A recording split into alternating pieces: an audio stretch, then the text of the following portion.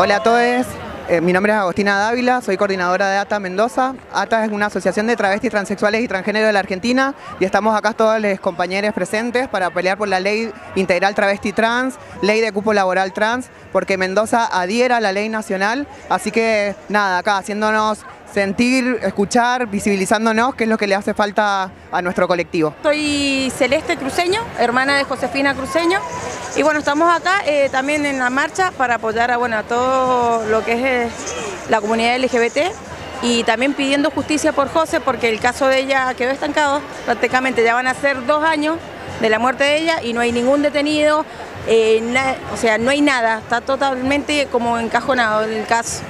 Y acá esperando a ver que, alguien nos dé una mano porque hay muchos, muchos que se ofrecieron en, darnos una mano, en ayudarnos en el caso y, acá, como nos ve, la familia la seguimos peleando solita. Yo, mi vieja, mis tías y no queda otra más que seguir peleándola sola porque desgraciadamente del Estado no tuvimos ayuda de nadie. Hola, soy Tayelo Saderuk y soy una chica no binaria que pertenece al colectivo Acá Estamos.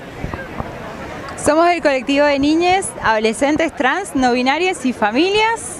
Yo soy mamá de Celeste, me llamo Fernanda. Hola. Bueno, acá estamos representando a todas las niñeces y adolescencias que no son escuchadas también. Eh, les pedimos a los adultos que dejen un poco el adultocentrismo de lado y empiecen a escuchar a todas estas infancias y adolescencia porque es una etapa súper importante, eh, tiene que ver con el desarrollo, con el crecimiento y con la libertad de ellas.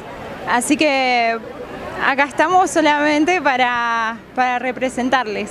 Pedimos que se dé sí en todos los ámbitos educativos con perspectiva de género, porque las personas trans somos una realidad y no somos representadas. Y, y muchas chicas no saben que son trans hasta la edad adulta y tampoco saben que es una persona trans y no, pueden, y no saben cómo respetarla, no saben lo que es y terminan diciendo cosas transodiantes, terminan siendo personas transfóbicas o son personas trans que no saben que son trans hasta la persona, a edad adulta, hasta que se dan cuenta por internet, en vez de también tienen la herramienta de adultos de, ayudarles a descubrir esa parte, porque obviamente nadie se lo puede decir.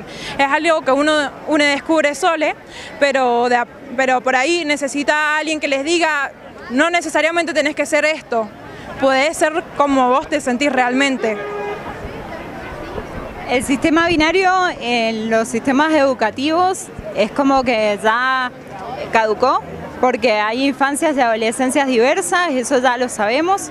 Entonces, bueno, pedimos que se respete, que sean, eh, que en los materiales educativos esté esta diversidad corporal, que sean representadas y que sean nombradas con sus pronombres y nombres autopercibidos.